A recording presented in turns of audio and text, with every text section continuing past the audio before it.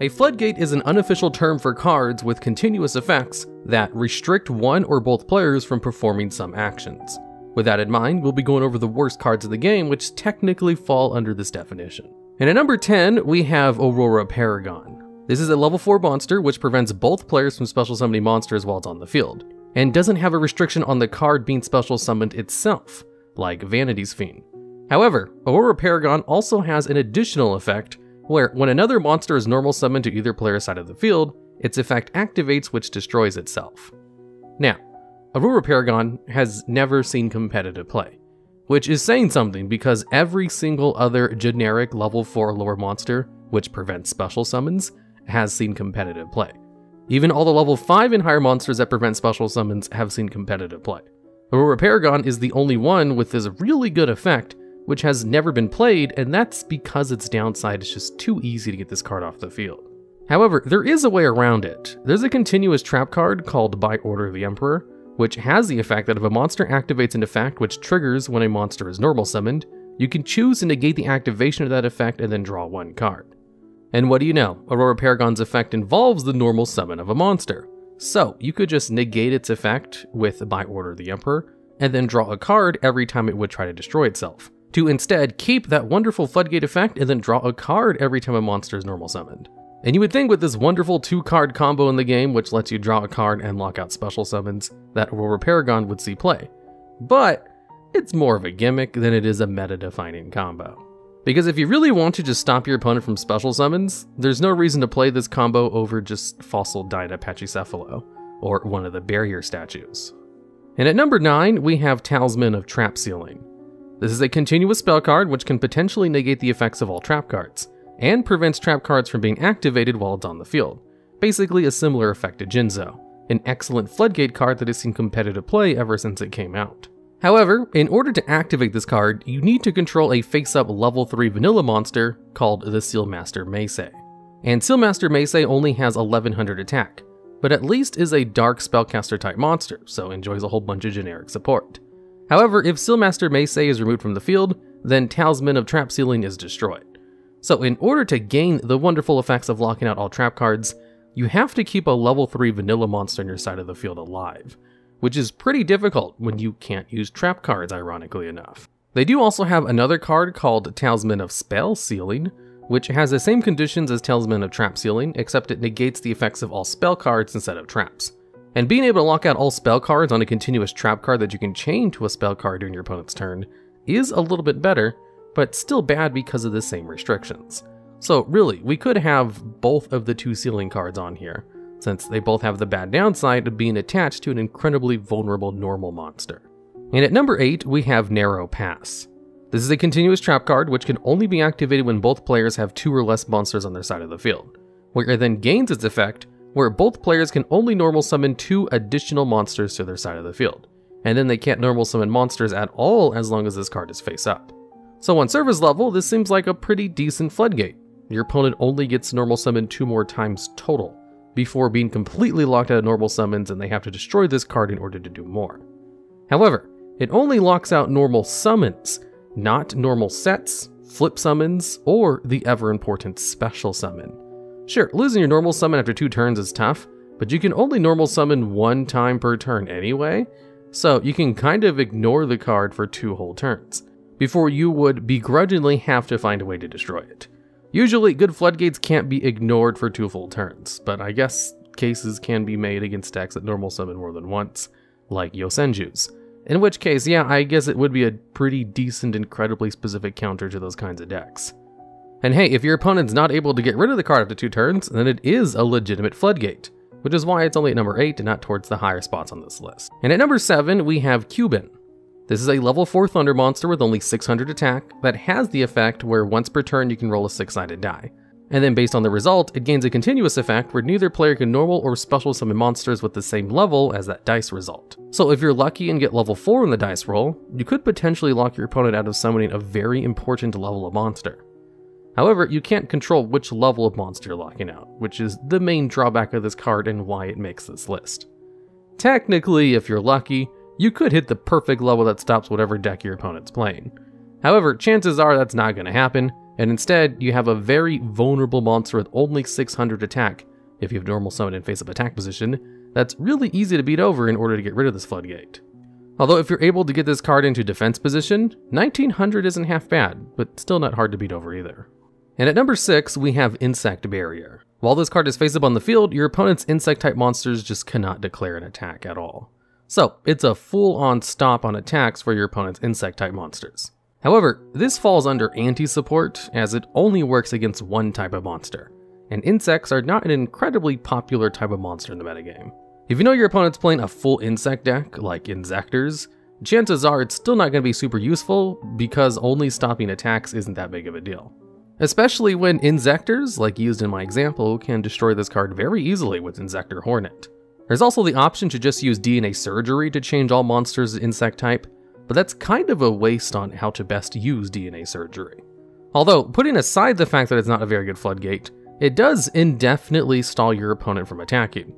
So, if you're able to stall your opponent with a whole bunch of other floodgates, and you're playing Yu-Gi-Oh! Duel Links, you could combo it with the Parasite Parasite skill in order to stop your opponent from attacking completely, as Parasite Parasite treats all monsters on your opponent's side of the field as insect-type monsters when it brings itself out. This is probably the only useful scenario I can think of using this card in, because it's definitely not useful in the TCG. However, Insect Barrier is not available in Duel Links, so I'm not really sure why I even mentioned this. If they were to make it available to players in the future, then this could be a niche combo available to the mobile version of Yu-Gi-Oh! And at number 5, we have the Emperor's Holiday.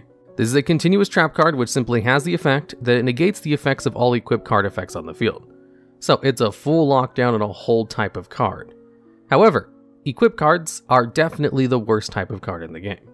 Sure, there are incredibly niche scenarios where this could come in handy, like Dark Warrior combos definitely love to use equipped cards, like DDR Different Dimension Reincarnation and a Living Fossil, or even Infernoble Knights, they use a plethora of equip spell cards. But you're better off just using anything else really, even against decks where it could specifically be somewhat useful. Because for the most part, Noble Knight decks don't really care if their equipped spell cards are negated, because they care more about the action of actually equipping those spells to gain their monster effects, than the effects of the equipped spells themselves. Sure, they definitely want the equipped spell effects, but it's not a big deal if their effects are negated either. If you're facing a Dark Warrior deck and you're turning off their two useful equipped spells, that's not really going to stop their combos very much, as mid-combo they can just destroy Emperor's Holiday with something like a Knightmare Phoenix. So basically, it only negates the effects of cards that no one really uses. And since it only negates the effects of cards no one really uses, it's too easy to actually destroy this card with anything else in order to make them live again. Generally, incredibly specific floodgates are too vulnerable to see competitive play, unless they stop something incredibly common, like non-fusion area, which prevents players from fusion summoning, if you activate non-fusion area against a deck that only uses fusion monsters, which there are a lot of, then they're actually in trouble. Although non-fusion area isn't that great of a card either, it's just an example of an incredibly specific floodgate that has seen competitive play in the past. And at number 4, we have Spatial Collapse.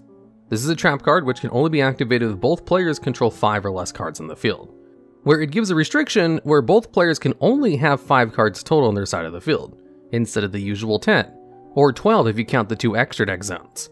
Now, this seems like a good way to stop your opponent's plays in their track if they have an incredibly limited amount of space to work with.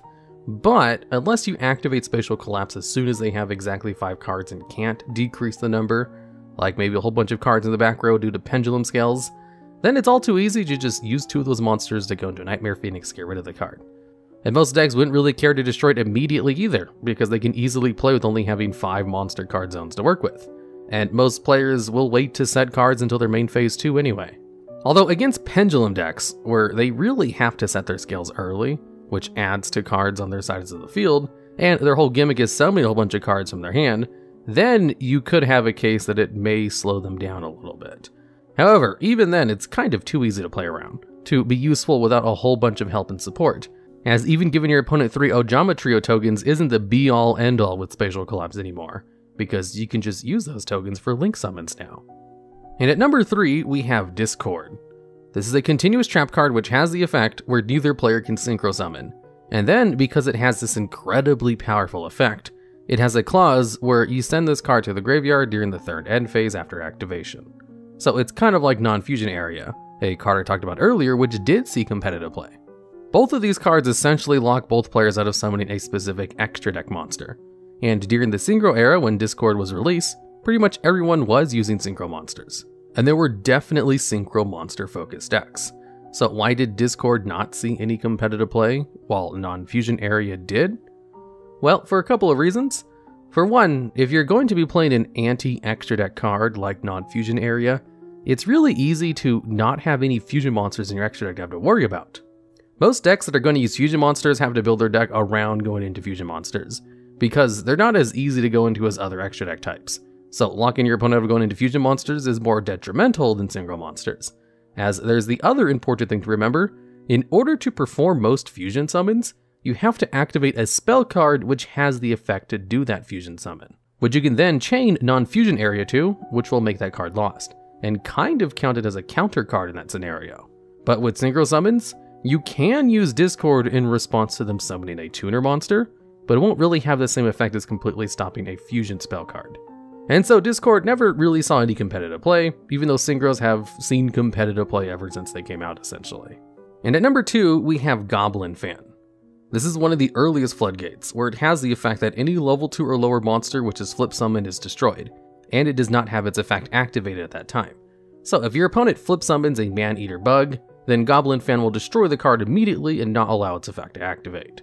However, if you attack into a Man-Eater bug and it flips and activates the effect in the damage step, then that does not count as a flip summon, so Goblin Fan won't actually stop Man-Eater bug from destroying your monster. So Goblin Fan only stops low-level monsters in one of the slowest ways you can summon a monster, through an actual flip summon. During the same era that Goblin Fan came out, i.e. early Yu-Gi-Oh!, they also had Infinite Dismissal, which would destroy all level 3 or lower monsters that would normally flip summon during the turn during the end phase, which was infinitely more useful and versatile and also hardly saw play. But I guess it wouldn't stop flip effects immediately if your opponent was flip summoning a Man-Eater bug. And at number 1, we have Enervating Mist. This is a floodgate so bad that I'm not 100% sure it counts as a floodgate. Because what it does is, while it's faceable in the field, your opponent's hand size limit becomes 5. The standard hand size limit is 6. The hand size limit doesn't come into play until the end of your turn, which determines the amount of cards you're allowed to keep in your hand before your opponent's turn starts. And if you have more cards in your hand than the size limit, you have to send cards in your hand to the graveyard in order to go down to the hand size limit. So essentially, Enervating Mist stops your opponent from having one more card in their hand during their end phase, which I guess technically restricts your opponent in some way, but it's in such a minor way that it's negligible and it's so minor that it's kind of hard to determine if it counts as a floodgate. But I think it does, because it technically restricts your opponent. If your opponent really wants 6 cards in their hand at the end of their turn, then they cannot, which means they were floodgated. They did release a power creep version of this card called Finite Cards, which, while it's on the field, the hand size limit of both players becomes 3. So it cuts the hand size limit in half instead of just reducing it by 1. And Finite Cards has never seen competitive play either. And if the power creep version hasn't seen play, you can probably guess the competitive history of Enervating Mist. So it's kind of hard to find other floodgates that are worse than this card, without them not actually being floodgates. I think even Respect Play, which doesn't count as a floodgate, is technically a more useful floodgate than Enervating Mist, because it actually stops danger monsters from activating their effects. Alright, and that's the list. If you like the worst of videos, make sure you watch the playlist with all the others. Also, if you have ideas for other worst of video topics, I'd love to hear about them down in the comments, as well as some examples of cards that should be on that list. The more examples of cards attached to an idea, the better.